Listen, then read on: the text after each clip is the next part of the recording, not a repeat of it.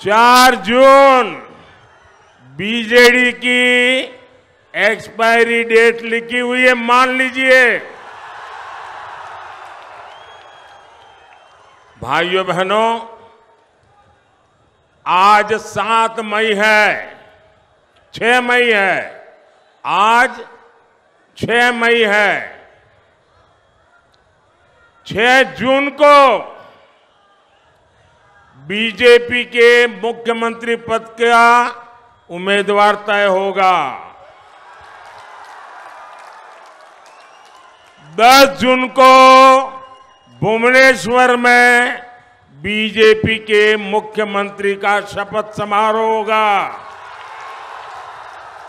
और मैं आज आप सबको भाजपा के सरकार के मुख्यमंत्री के शपथ समारोह के लिए निमंत्रण देने आया हूँ।